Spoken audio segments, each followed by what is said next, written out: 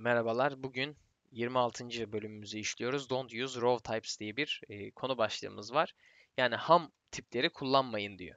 Kitabımız burada. E, Java'da öncelikle birçok ham tür kullanılmış e, ama kitabımızın yazarı şöyle bahsediliyor. Şimdi siz bir binayı inşa ettiğinizde kötü temeller atarsanız ki hani Java'nın ilk başlardaki çok eski sürümlerini düşünürseniz belirli temel şeyler ham türlerle yapılmış. Bu arada raw type nedir, ham tür nedir hepsini göreceğiz. Bunlarla yapıldığı için e, çoğu şey bunlara bağlı. O yüzden revizasyonu imkansıza dönüyor. Bir dönüşüme girmesi imkansız oluyor. O yüzden e, biz projelerimizde temeli iyi oturtursak e, yeni bir değişiklik yapmak, yeni versiyonlar getirmek kolay olur. Bu konuyu biraz ondan işleyeceğiz. Önemli konulardan bir tanesi. Ham tür kullanmayın diyor kitabımız. Şimdi ham tür nedir? E, nasıl bir sistem içerir bunu görelim. Ben direkt kitabın sonunda çok güzel bir tane şey var. E, bir liste çıkartmış. Bakayım devamı var mı? Evet burası. Ham tür bakın şurada e, bir tane parametreli e, bir şey oluşturabilirsiniz. Parametre parameterized ne okuyamadım type list string var mesela. Bakın bu e, parametre alan mesela bu listenin sadece string içerdiğini biliyorum. Ama raw type yani ham bir listem var ama istediğinizi ekleyebilirsiniz gibi şey bir sistemi var burada. Hani şu tarz bir liste kullanmayın diyor kitabımız. Hemen neden olduğunu görelim. Şimdi kitabın verdiği örnekten gideceğim. Bir tane row diye bir sınıf yapmış. Burada list string var. Sonra yeni bir array listi diyor. Unsafe add. Güvensiz ekleme. Bakın listenin içine daha şeyi belli değil. Listenin hangi tipte bir şey aldığı belli değil. Obje alıyor. Ve gidiyorsunuz burada sizin string alan listenize gidip böyle bir liste ekliyorsunuz. Yani içerisine herhangi bir obje ekliyorsunuz. Sonra içerisinden de eklediğiniz, aa, diyorsunuz ki ben burada, şimdi şöyle görelim bunu.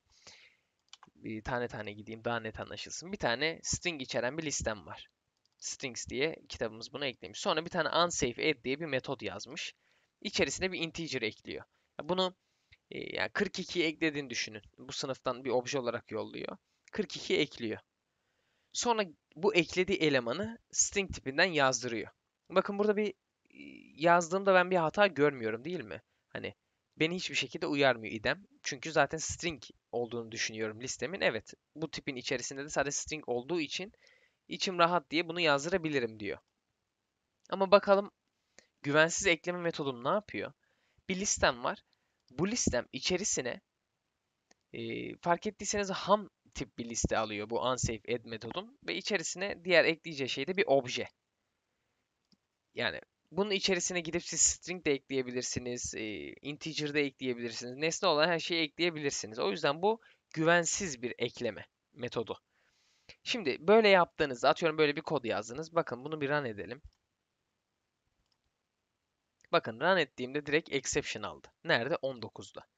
Şimdi bunun nerede hata aldığını anlamak için buraya gideceksiniz. Buradan acaba ne olmuş falan filan diye. Bunu çok daha komplike bir kod olduğunu düşünün ve runtime'da al alıyorsunuz bu hatayı. Hani ben programı çalıştırmadan runtime'dan kastım. Bu hatayı göremiyorum. Şimdi string olarak belirlediğim bir tipte integer'ı doğrudan böyle yazdıramıyorum. Gördüğümüz gibi. Bu güvensiz bir ekleme metodu. Mesela bunu yani bu, bu tarzda kullanımlar genelde yanlış oluyor. Mesela bu string olarak verdiğimde bu bir string listesidir dediğimde bakın diyor ki buna kızıyor. Diyor bu objeni o zaman string'e cast et diyor. Mesela böyle bir an edeyim. Bakın yine kızdı. 24'e kızdı. Çünkü burada integer yolluyorum her türlü. Şurayı da değiştirmem gerekecek. Bunun yani bu şekilde ham tüpleri kullanmamız her türlü başımıza bir bela açıyor. Hani Başka bir örnekte daha net görelim ve çözümlerini görelim. Bunu niye kullanmamız gerektiğini. Şimdi bir tane bir main metodu yazayım. Şimdi biz de aynı kitabın örneği gibi list bir tane isim listesi diyeyim. Bir tane array list oluşturuyorum. Tamam. Şimdi bunda niye şu şunu eklemedi galiba. Util'den ekle. Tamam. Şimdi isim listeme isimleri ekleyeyim ben. İsim listesi add ne olsun? Furkan. Kendi ismimi ekliyorum. Bir tane daha ekleyeyim. Add dedim. James dedim. İki tane isim ekledim. Bir Türk bir yabancı olarak e, bu içerisine isim ekledim. Şimdi ben isim listesi diye oluşturduğum şeye gidip başka bir objede ekleyebiliyorum. Mesela ne olsun? Ne eklemişti kitabımız? Mesela bu bir şey eklemiş. Şey integer'dan bir 42 eklemiş. Biz de boolean ekleyelim mesela. Boolean nokta false'u ekledim. Kızdı mı? Kızmadı. Boolean bir false bir şey midir? E, string midir? Değildir. Şimdi şöyle bir şey yazdırdığımızda string herhangi bir ya ben bunu Türkçe yazıyorum ama anlaşılsın diye. Normalde Türkçe e, kullanılmıyor. E, video e, geçmiş videolarda bundan bahsettim ama yeni gelen birisi de anlasın. İsim listemden get dedim indeksi. Bu boolean kaç oldu? 0 1 2 oldu. 2 dedim. Bakın bunu tabii ki kızacak kest ettirdim. Tamam.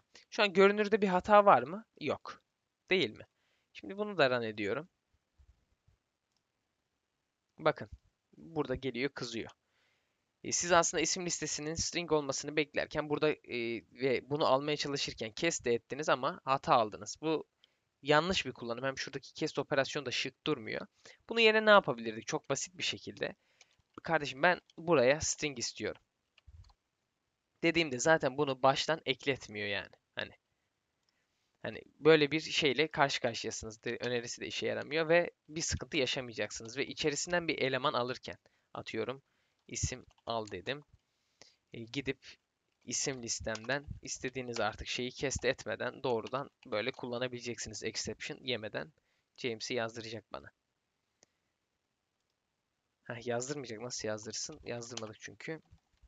İsim alı yazdıralım. James gelecek burada bana. Bir en- azından hata almadığımızı da gördük. Yani burada özetle bu ham tipleri e, kullanırken de çok dikkatli e, kullanmalıyız. Hani birden fazla ne bileyim homo heterojen bir liste yapıyorsanız da dikkatli yapmalısınız ihtiyaca göre. Genelde bunun kullanımı tehlikeli olduğu için önerilmiyor. E, şurada da gördüğünüz gibi hani burada doğru kullansanız bile atıyorum ekleme metodunda e, yine e, ham tür kullanıyorsanız o da size sıkıntılara yol açıyor. O yüzden bunu kullanırken e, bakın unsafe method uses a row type yani burada şey düzgün yapsanız bile metodunuzun içinde bir ham type içermesi yani ham type ne? Row type içermesi bile sizin için bir sıkıntı yaratabiliyor. O yüzden burada biraz daha dikkatli olmalıyız. Özellikle kodumuz daha yeni bir metodoloji kuruyorsak bunlara çok dikkat etmeliyiz ki ileride e, çözemeyeceğimiz bug'lar karşımıza çıkmasın. Bizi zorlayacak bug'lar karşımıza çıkmasın. Bu dersi de böyle sonlandıralım. İyi seyirler.